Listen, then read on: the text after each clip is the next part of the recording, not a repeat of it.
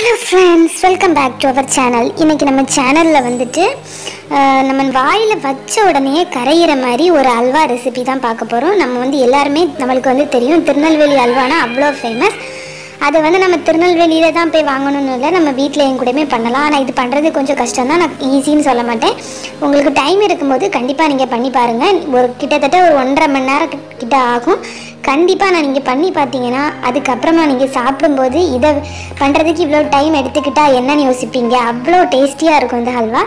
கண்டிப்பாக நீங்கள் வீட்டில் ட்ரை பண்ணி பார்த்துட்டு எப்படி வந்துச்சுன்னு மறக்காமல் கமெண்ட்டில் சொல்லுங்கள் ஃபஸ்ட்டு இந்த ரெசிபி பண்ணுறதுக்கு நான் என்னென்ன தேவைன்னு சொல்லிடுறேன். அது மட்டும் இல்லாமல் இந்த ரெசிபி பண்ணுறதுக்கு வந்து கரெக்டான மெஷர்மெண்ட்டில் நான் சொல்கிற மாதிரியே நீங்கள் எடுத்துக்கோங்க. அப்போ தான் உங்களுக்கு கரெக்டாக அல்வா இதே மாதிரியே வரும். இப்போ நான் வந்துட்டு என்ன பண்ணியிருக்கேன்னா ஒரு கப் கோதுமை எடுத்திருக்கிறேன். நான் வந்து சம்பா கோதுமை எடுக்கலாம் நார்மலான கோதுமை தான் எடுத்திருக்கிறேன். இதை வந்து தண்ணியில் ஒரு எட்டு மணி நேரம் இந்த மாதிரி ஊற போட்டு வச்சு எடுத்துக்கோங்க. சம்பா கோதுமைனா ஈஸியாக கலர் நல்லா கலர் வரும். இதை வந்து இப்போ இந்த மாதிரி நல்லா அரைச்சி எடுத்துக்கோங்க. ஒருவேளை நீங்கள் வந்து உங்களுக்கு சம்பா கோதுமை ரவை கிடச்சிதுன்னா அதை கூட நீங்கள் யூஸ் பண்ணிக்கலாம். இதை இப்படி அரைச்சி எடுத்துட்டு இந்த பாலை நம்ம வடிகட்டிக்கணும். நம்ம வந்து சம்பா கோதுமை யூஸ் பண்ணும்போது ரவை யூஸ் பண்ணும்போது அதை வந்து அரைக்க வேண்டிய அவசியம் இல்லை. அதை ஊற வச்சுட்டு அப்படியே கையாலே நீங்கள் பிசைஞ்சிங்கனாலே போதும். பால் நல்லா வந்துடும் இப்போ நான் இதை இந்த மாதிரி நல்லா ஒரு அரிப்பில் வடிகட்டிக்கிறேன். எல்லா பாலையும் இந்த மாதிரி நல்லா வடிகட்டி எடுத்துக்கோங்க. இதுக்கு கூட தண்ணி எவ்வளோ தண்ணி வேணாலும் நீங்கள் சேர்த்து வடிகட்டிக்கலாம். வடிகட்டிட்டு இதை வந்து இந்த மாதிரி ஒரு பெரிய கப்பில் ஊற்றி வச்சுக்கோங்க. இந்த பாலை வந்து அப்படியே ஒரு கப்பில் ஊற்றிட்டு ஒரு ரெண்டு மணி நேரம் அப்படியே விட்டுருங்க. ரெண்டு மணி நேரத்துக்கு அப்புறம் பார்த்தீங்கன்னா கீழே வந்து நல்லா கட்டியான பால் கீழே படிஞ்சிரும். மேலே வந்து இந்த தண்ணி வந்து மேலே வந்துடும் நம்மளுக்கு அந்த மேலே இருக்க தண்ணி தேவையில்லை. அதை நம்ம வந்து வெளியே விட்டுறலாம். அதனால தான் இந்த மாதிரி கப்பில் எடுக்க சொன்னேன். உங்களுக்கு பார்க்குறதுக்கு உங்களுக்கு ஈஸியாக இருக்கும். கிளாஸில் எடுத்திங்கன்னா. இப்போ பார்த்தீங்களா கெட்டியான பால் கரெக்டாக கீழே படிஞ்சிருக்குது. இப்போ நான் அந்த பாலை வந்து ரெண்டு கப்பில் இருந்ததே ஒரே கப்பில் சேர்த்துருக்குறேன். எனக்கு வந்து கரெக்டாக ஒரு கப் பால் வந்திருக்கு. கட்டியான பால் இந்த மாதிரி ஒரு கப்பில் வந்திருக்கு. இந்த ஒரு கப் பாலுக்கு நம்ம வந்து மூணு கப் சுகர் எடுக்கணும். இதே கப்பில் அளந்துக்கோங்க. மூணு கப் சுகர் நான் வந்து ரெண்டரை கப் சுகரை தனியாகவும் அரை அரை கப்பை தனியாக எடுத்துருக்கிறேன். ரெண்டு கப் நெய் தேவைப்படும். கண்டிப்பாக நெய் ரெண்டு கப் நெய் தேவைப்படும். நீங்கள் வந்து ஒரு கப் ஆயிலும் ஒரு கப் நெய் கூட எடுத்துக்கலாம். ஃபஸ்ட்டு வந்துட்டு என்ன பண்ணிடலான்னா நம்ம வந்து இந்த ஒரு கப் பாலுக்கு வந்து நாலு கப்பு தண்ணி சேர்க்கணும். ஒரு கப் பாலை நான் வந்து கட்டியான பாலை ஒரு பவுலில் ஊற்றிருக்கிறேன் அது கூட நாலு கப் தண்ணி இதை மாதிரி சேர்த்துக்கோங்க. ஒன்று ரெண்டு மூணு நாலு. நாலு கப் கண் தண்ணி கண்டிப்பாக நீங்கள் சேர்க்கணும். சேர்த்திங்கன்னா தான் கரெக்டாக அந்த கிளாஸியான ஒரு அல்வா உங்களுக்கு கிடைக்கும். இப்போ நம்ம வந்துட்டு சுகர் சிரப் ரெடி பண்ணிடலாம் ஒரு கடாயை எடுத்துக்கோங்க. அதில் வந்துட்டு நான் வந்து அந்த ரெண்டரை கப் சுகரை மட்டும் இதில் சேர்க்குறேன். அந்த அரை கப் வந்து நம்ம கேரமலைஸ்ட் பண்ணுறதுக்காக அது தனியாக எடுத்து வச்சுருக்குறோம். இதில் வந்துட்டு ஒரு கப் ரெண்டு ரெண்டரை கப் சுகருக்கு ஒரு கப் தண்ணி சேர்த்துக்கோங்க. இப்போ வந்துட்டு அந்த கேரமலைஸ்ட் பண்ண வேண்டியதை இன்னொரு கடாயில் சேர்த்துக்கோங்க. அந்த அரை கப் சுகரை அதுக்கு கூடால ஒரு ரெண்டு ஸ்பூன் தண்ணி மட்டும் சேர்த்தா போதும். சேர்த்துட்டு அதை அப்படியே விட்டுருங்க. தானாகவே உங்களுக்கு கலர் சேஞ்ச் ஆகி வரும். இதில் வந்துட்டு நம்மளுக்கு வந்து கம்பி பதம் தேவை. அரை கம்பி பதம் வரைக்கும் வேணும். அரை கம்பி பதம் வந்தால் போதும். ஒரு கம்பி பதம் வந்தாலும் பிரச்சனை இல்லை. ஆனால் அதை தாண்டி போகக்கூடாது. அரை கம்பி பதத்துலேருந்து ஒரு கம்பி ப பதம் வரைக்கும் நல்லா கரெக்டாக இருக்கும். இப்போ இது கேரமலைஸ்ட் ஆகட்டும். கேரமலைஸ் பண்ணுறது எதுக்காகனா அது வந்து அல்வாக்கு கொஞ்சம் நல்ல கலர் கொடுக்கும். நார்மலாக நம்ம சம்பா கோதுமை ரவை யூஸ் பண்ணாலுமே நம்ம இந்த மாதிரி பண்ணி சேர்த்துக்கிட்டோம்னா இன்னும் கொஞ்சம் நல்ல டார்க் கலரில் கிடைக்கும். அல்வா அழகாக இருக்கும்.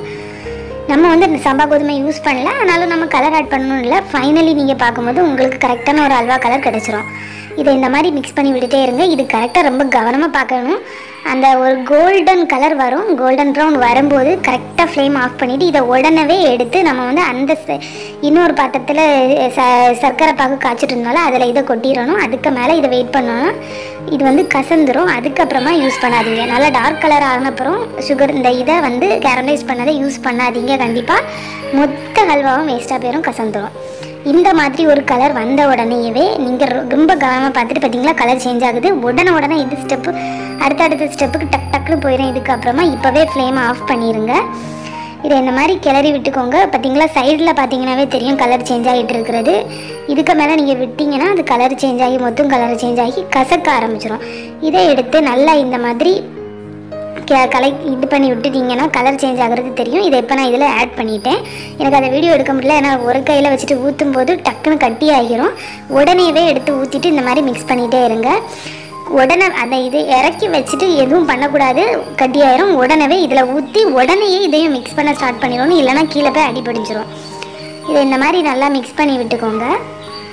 இனிமே வந்து நம்மளுக்கு ப்ராப்ளம் இல்லை. இதை மட்டும் பார்த்துக்கிட்டா போதும்.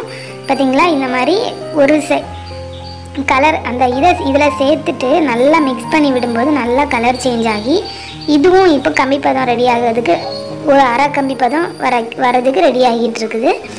பார்த்தீங்கன்னாவே தெரியும். இந்த மாதிரி நல்லா பபிள்ஸ் வந்தப்பறம் இப்படி செக் பண்ணி பார்த்தீங்கன்னா ரெண்டு விரல் இடையில வச்சுட்டு பார்த்தீங்கன்னா இந்த மாதிரி கம்பி பதம் வரும். இதுதான் கரெக்டான ஸ்டேஜ் இப்போ வந்துட்டு நம்ம வந்து மாவு ஆட் பண்ண ஸ்டார்ட் பண்ணிடலாம். நம்ம எடுத்து வச்சுருந்தோம்ல அந்த கோதுமை மாவை இந்த மாதிரி கலக்கி விட்டுட்டு இப்படி ஸ்டா ஊற்றிக்கோங்க இப்போ மொத்தத்தையும் ஆட் பண்ணியாச்சு. ஆட் பண்ணிவிட்டு இன்னொன்று நீங்கள் நல்லா ஞாபகத்தில் வைக்க வேண்டியது. இது எப்போ கெட்டி ஆகிறதுக்கு ஸ்டார்ட் ஆகுதோ அது அப்போலேருந்து தான் நம்ம நெய் ஆட் பண்ணணும். அதுக்கு முன்னவே நீங்கள் நெய் ஆட் பண்ணிகிட்டே இருந்தீங்கன்னா அது அவ்வளோ நெய்யும் குடிச்சிக்கிட்டே இருக்கும். உங்களுக்கு நீங்கள் எத்தனை டப்பா ஊற்றினாலும் அது பத்தாது. நல்லா இது கொஞ்சம் கெட்டியாகும் உங்களுக்கே தெரியும் டிஃப்ரென்ஸ் தெரியும். போது நம்ம தண்ணியாக ஊற்றுனது கொஞ்சம் கெட்டியாக ஆரம்பிச்சிடும் இப்போ பார்த்தீங்கன்னா தெரியும் கொஞ்சம் கெட்டியாகியிருக்கும். பார்த்தீங்களா கொஞ்சம் கெட்டியாக இருக்குதா இந்த மாதிரி கெட்டியாகட்டும் இன்னும் கொஞ்சம் நேரம் கெட்டியாகட்டும் ஒன்றும் பிரச்சனை இல்லை. அதுக்கப்புறமா நம்ம நெய் சேர்க்கலாம். இப்போ வந்து இதில் வந்து நான் ஒரு ஸ்பூன் நெய் சேர்க்குறேன். இன்னொன்று சொல்லிக்கிறேன் நீங்கள் வந்து நெய் வந்து சேர்க்கும் போது அடிக்கடி சேர்த்துட்டே இருக்காதுங்க. உடனே உடனே சேர்க்காதீங்க.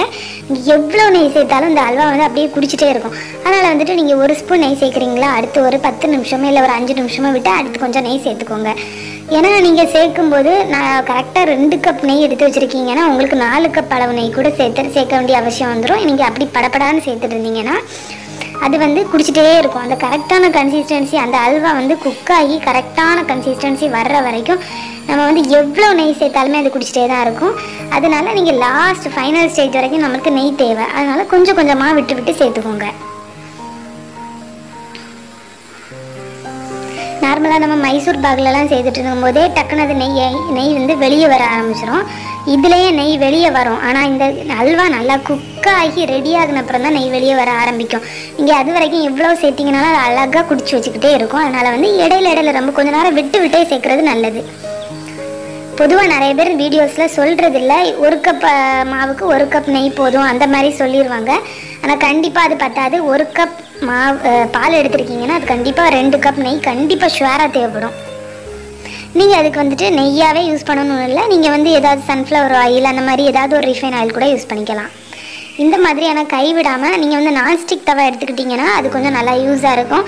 ஏன்னா வந்து அடியில் ஒட்டாது. நீங்கள் வந்து இல்லாட்டி நார்மலான பாத்திரம் எடுத்துக்கிட்டிங்கன்னா அதில் வந்து டக்குன்னு ஒட்டுறதுக்கு ரொம்ப சான்ஸ் இருக்குது ஒட்டுறது மட்டும் இல்லாமல் உங்களுக்கு ஒரு ரெண்டு ஒரு செகண்டு கூட அதில் வந்து நகல நவண்டு போக முடியாது. அதுலேயே நின்று கிளறிட்டே இருக்க வேண்டியது வரும். இதுலேயே கிளறிட்டு தான் இருக்க வேண்டியது வரும். அதுலேயும் அது அதில் இதை விட கஷ்டம். ஒருவேளை நான்ஸ்டிக் இருந்துச்சுன்னா உங்களுக்கு ரொம்ப ஈஸியாக இருக்கும். அதனால தான் சொல்கிறேன்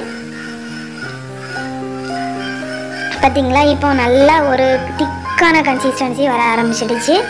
இன்னும் ஒரு கரெக்டாக இன்னும் ஒரு பத்து பதினஞ்சு நிமிஷத்தில் அல்வா ரெடி ஆயிரும்.